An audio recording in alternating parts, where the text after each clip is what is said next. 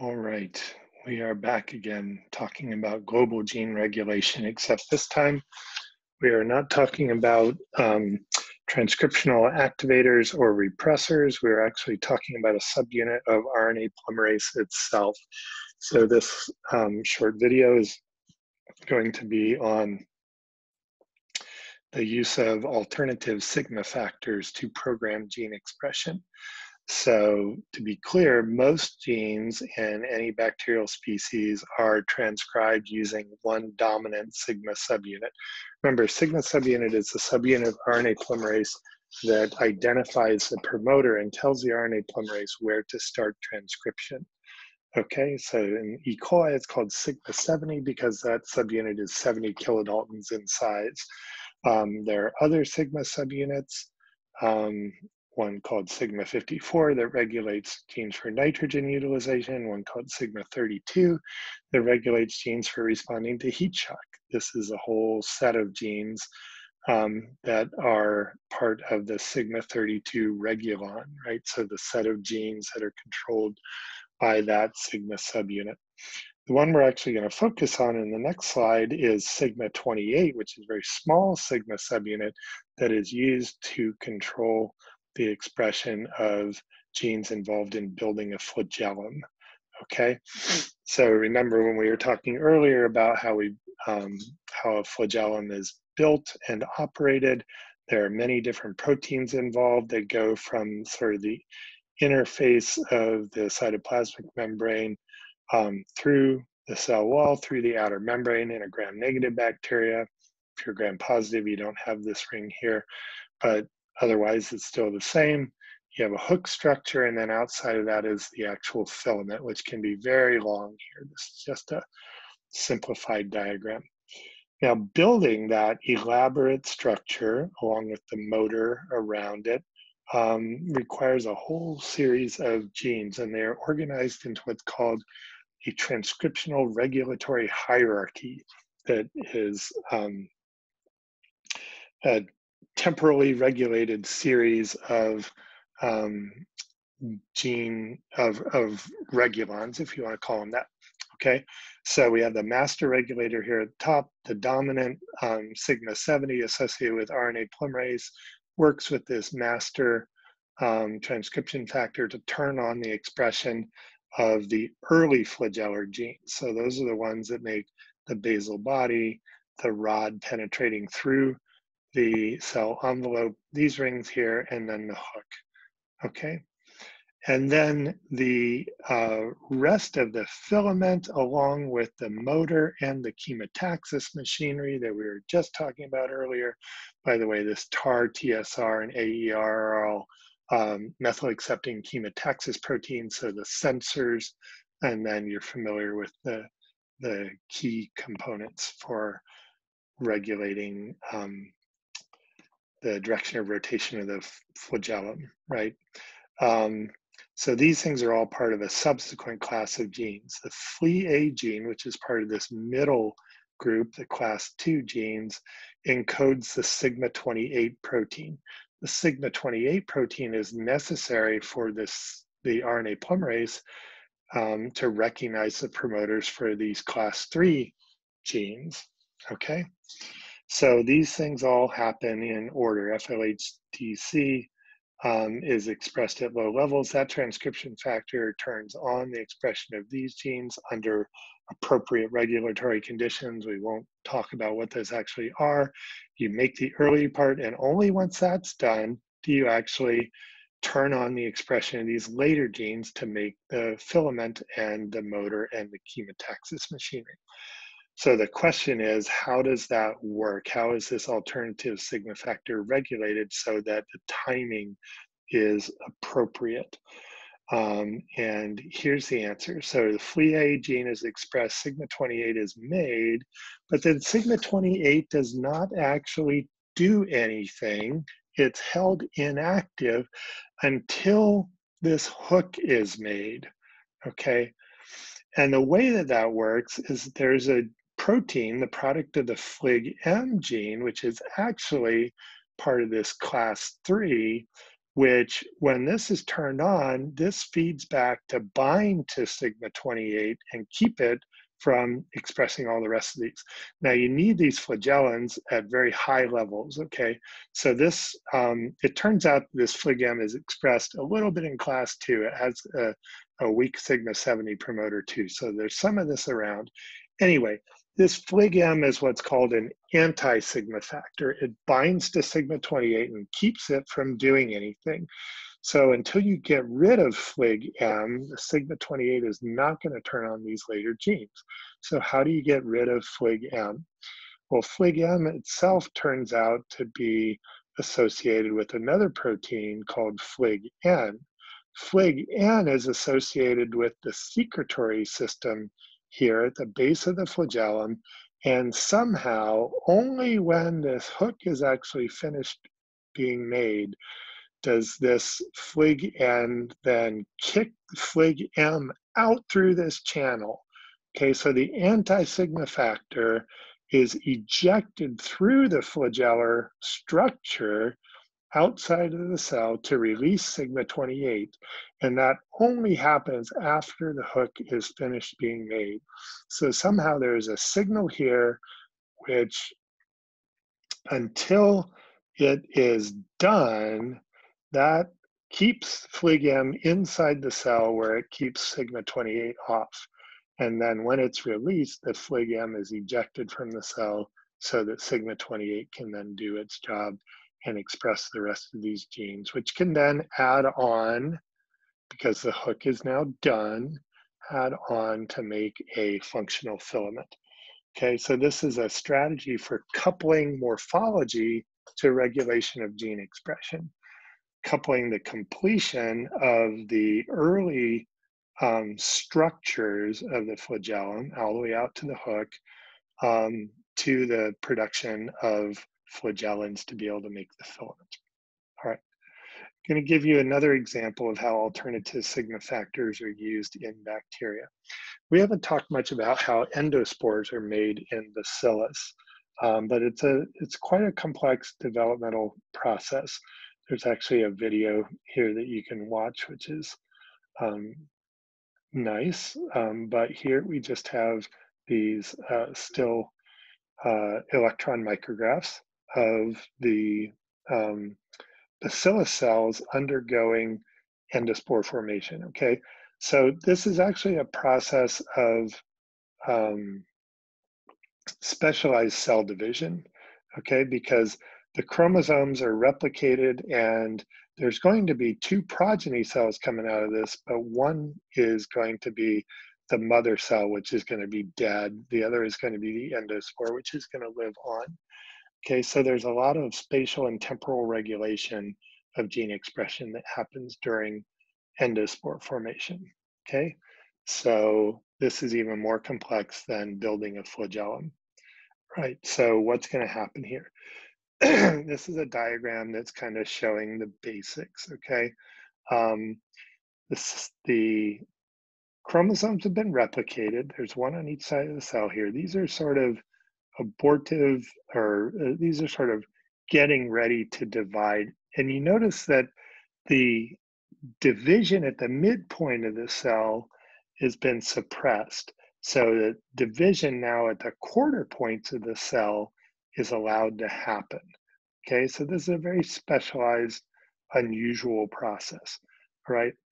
Um, stage, so the, the, the stages of sporulation are all numbered here won't go into all these details, but basically, this is just the temporal progression.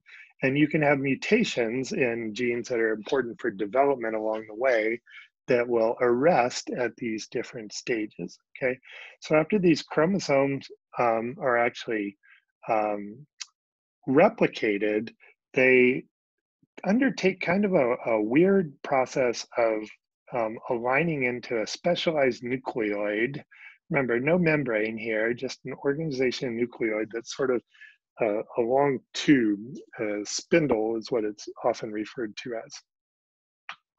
Okay, so what's going to happen now is that one of these division sites is going to be selected, the other one will be suppressed. So you're going to have a small compartment and a large compartment, right? So this small compartment is going to ultimately turn into the endospore. Okay, so it starts to divide. And here's the weird thing the um, DNA that was on this side of the cell division site um, basically gets destroyed. But the DNA that was on this side then gets pumped into this endospore here. Very strange, right? And then what starts to happen is the membranes from the what we're going to call the mother cell or the sporangium start going around this little compartment here that's going to turn into the spore. Okay, so they engulf this um, so that it's now completely inside the mother cell, right? And over time, the DNA actually um, in this mother cell gets degraded, but that takes a little while. At any rate, um, during this time, additional layers are being laid around the spore. The wall is getting really thick here. The um, the water from the inside here is um, uh, dehydrated. It's it's pumped out. Um, now it looks like here that it's destroying the DNA. It is not destroying the DNA because, of course, this is going to be the spore that's going to end up having to um, generate a new functional cell when conditions get better. Remember, this only happens when the cells are like starving and in really harsh conditions. I should have made sure to point that out. Okay, this is a last ditch effort by the cells to have at least one of them survive. All right, so at any rate, that's what this is going to be is a totally metabolically inert um, cell that when conditions get better, it can then divide again. All right, why am I telling you all this? I wanted to go over the regulation process here, and there's two aspects of the regulation I want to go over. One has to do with um, basically a two component system that's now stretched out into a multi component system, right? Um, and this is at the early, so when the cells start experiencing stress and nutrient limitation, they decide, hmm, I have a choice here. I can try all my other tricks to try and get new nutrients, right? I can secrete proteases, I can try and swim away, I can do everything I can. But if it's just not working, then I'm going to give it up and I'm going to say, I'm going to form a spore. Okay, so we decide to form a spore. Down here at the very end is the sort of master sporulation regulator called SPO0A. SPO0A is a response regulator that needs to be activated by phosphorylation. Okay, SPO0A will get its phosphate from SPO0B, but SPO0B is merely a link in the chain of a series of phosphate transfer events that start clear up here with two kinases, one called KIP-A, one called KIN-A. Okay, um, KIN-A is a really important one here. KIP-A is actually just a regulator of it.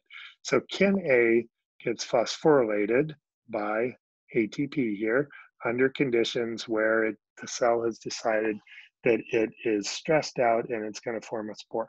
Exactly what those conditions are is uh, well, there's a lot of people that have studied it, and it's complicated. There's multiple signals that seem to turn this on. But KIN-A is the key starting point here. Um, KIP-I can suppress this, KIP-A can suppress KIP-I. So positive signals come into KIP-A that can suppress KIP-I. KIP-I, though, can actually be a receiver of sporulation suppressing signals like, oh, I found another source of food over here or I swam someplace where there was more food. I don't want to do this after all. So signals start turning this off, right? But basically what happens is the kin A gets phosphorylated, then it donates its phosphate to SPO0F. Now, ordinarily in a two, com two component system, SPO0F would be the key response regulator. But SPO0F isn't the end uh, regulator here. It actually donates its phosphate to something that looks like a kinase but can't really phosphorylate on its own. It receives the phosphate from SPO0F and then it donates its phosphate to SPO0A. So this has been termed a phosphorelay, right? And there are phosphatases that can suppress this by chewing the phosphates off of these key um, factors as well. At the end of all this, is a set of genes that are involved in turning on all those events that I showed you in the previous slide to, to trigger and carry out the developmental process. So like 40 genes um, that it directly regulates, and then there's a bunch more genes that are downstream. Um, actually, I take that back. It activates directly the expression of 40 genes. It represses the expression of more than 80 genes, okay? Because you can imagine if you're trying to do these things, but they're not working and you decide to go down this path, you wanna turn this stuff off, okay? So things are turned both off and on by SPO0A. All right, so phosphorelay gets this whole thing started. Then what happens? Well, then there is a developmental program that gets going. Um, there's a sigma subunit, uh, it's called sigma H here, which has been active in the um, the the vegetative cell essentially that's just deciding whether to spore undergo spore formation, right? So this um, sigma subunit is sort of the the the vegetative sigma subunit that SPO0A works with. SPO0A turns on the expression of two other sigma subunits, sigma E and sigma F, Sigma F turns out through some really interesting developmental processes um, that I don't think I will take the time to tell you how they work. Turns on in, in the endospore compartment, sigma E turns on in the mother cell compartment, right? And then once sigma F is done its early job in the uh, spore, it gives way to sigma G, sigma E gives way to sigma K, and these things all control those series of events that give rise to the developmental process. All right. Um, I think I've talked about this for long enough already, although I find this stuff all super interesting. And one of the reasons I wanted to tell you about it is because, again, it involves anti sigma factors and sigma factors um, and anti anti sigma factors. Um, so it's all really interesting, but it, honestly, it takes a while to explain. I will put a paper on that you can read um, that explains it all. Um, the other important thing to recognize here is that there is communication between these compartments to coordinate the temporal series of events. So I said sigma F gives way to sigma G, sigma E gives way to sigma K, but sigma E actually only turns on after sigma F is turned on. So there's communication across compartments. Then sigma E is necessary to turn on sigma G in the other compartment. And sigma G is response is necessary to turn on sigma K. So you have temporal and spatial regulation of uh, gene expression during this complex process of spore formation. So again, I'm putting a, I'll put a paper describing the basics of this onto the Camino site so you can read more about it, or at least um, you can get more of the basics here. Okay, I'm gonna stop here. There's one last um, short video for you to watch that has to do with um, RNA-based regulation of gene expression. Okay, so I'm gonna stop this now and I am going to stop